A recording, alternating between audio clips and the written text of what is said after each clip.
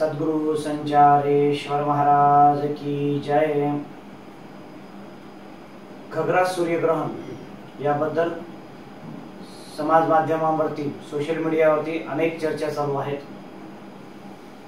त्याबद्दल सकारात्मक नकारात्मक दोन्ही चर्चा चालू आहेत. आणि राशीबद्दल काही सांगितलं की प्रत्येकाला वाटतं की आपल्या राशीलाही काहीतरी आहे काय आहे जाणून घ्यावं असं. परंतु एक गोष्ट लक्षात घ्यावी ग्रहण असते वेळेस ते कुठे आहे काय आहे याची चर्चा करून नंतर त्याबद्दल विचार करावा. आठ एप्रिल दोन हजार चोवीस रोजी दिसणार सोमावती अमावस्याचं सूर्यग्रहण हे पृथ्वीवरती कॅनडा ग्रीनलँड उत्तर अमेरिका एवढ्याच भागात दिसणार आहे. इतरत्र कुठे दिसणार नाही. ज्यामुळे या भागातल्या लोकांनीच याचे नियम पाळायचे आहेत इतरत्र पाळण्याची आवश्यकता नसते. आपल्या इथे भारतामध्ये हे ग्रहण दिसणार नाहीये.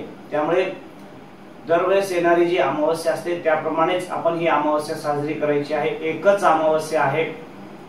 दोन अमावस्या नाहीये.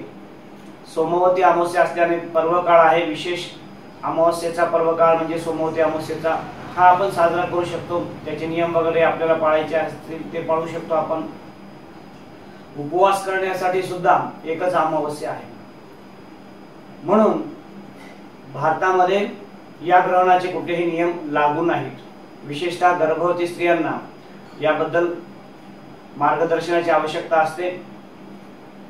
पण हे ग्रहण आपल्या इकडे नसल्यामुळे गर्भवती स्त्रियांनीही कुठलेही नियम पाळायचे नाही. रोजच्या दिवसासारखा हा अमावस्याचा दिवस पाळावा. पण कुठलीही भीती शंका मनामध्ये ठेवू नये. म्हणून सर्वांनी सोमवती अमावस्या साजरी करता येईल. पण ग्रहण आहे म्हणून कुठलेही घाबरण्याची आवश्यकता नाही. हे लक्षात घ्यावं.